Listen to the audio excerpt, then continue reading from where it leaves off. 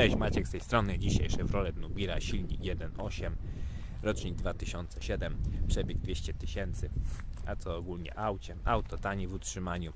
Przede wszystkim wszystkie części są dostępne, bo jeszcze auto było produkowane dalej y, na Ukrainie. Są bardzo tanie i też proste w naprawie, bo tu wszędzie jest miejsce, żeby się pod silnik dostać. Drugi duży plus, auto się nadaje do LPG, więc przy tych cenach paliwa na pewno jest to duży plus.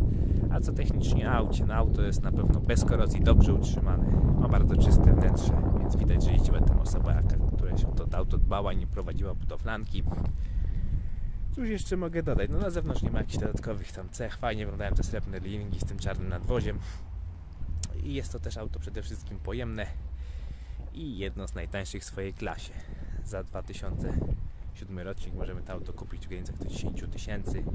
Dostajemy dość świeży samochód, prosty. No w innych markach no to samochody z tego roku kosztują około no, strzelam 15 tysięcy. Jeżeli komuś nie zależy na znaczkach, warto się tym autem na pewno zainteresować.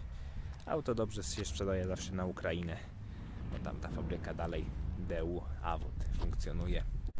No i co jeszcze o aucie, bo coś mi tu przerwało. Auto jest bezwypadkowe. Jest w oryginalnym lakierze, nie jest jakieś poobijane. Jeżeli ktoś patrzy na to, ma też wszystkie oryginalne szyby z roku produkcji samochodu. Więc dla niektórych może być to duży plus. Jeszcze pokażę Wam tu na chwilę wnętrze. Fajny, rzadko spotykany welur. Przyjemnie utrzymany. Resztę opowiem wewnątrz pojazdu. No i lecimy z wnętrzem pojazdu. Przebieg dokładnie to jest 210 tysięcy. Zacznijmy od lewej strony. Wyposażenie standard. Wszystko co musi auto mieć, nic ponad. Czyli elektryczne szyby, elektryczne lusterka. Przechodzimy dalej. Na środku klimatyzacja.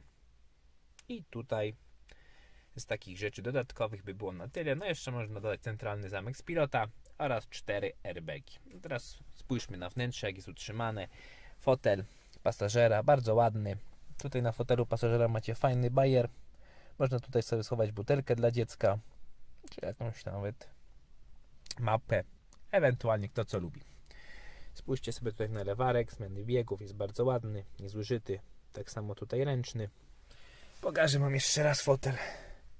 Kierowcy też jest bardzo ładny, nie ma żadnego zużycia, boczek.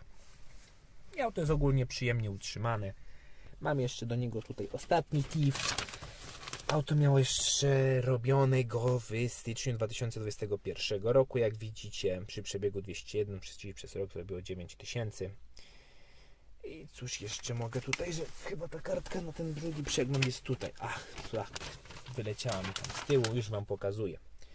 Tak, 201 tysięcy, tutaj dostał TIF do 20, 2023 roku. Jeżeli interesuje Was taki samochód, możecie zawsze tutaj napisać do mnie na YouTubie, ewentualnie przez Instagrama Mafkar Auta lub też na Otomoto. Podam adres mafkarotomoto.pl. Na razie by było na tyle. Zostawiajcie łapki w górę, subskrybujcie, na pewno będzie pojawiało się na bieżąco sporo nowych aut i każdy znajdzie coś dla siebie.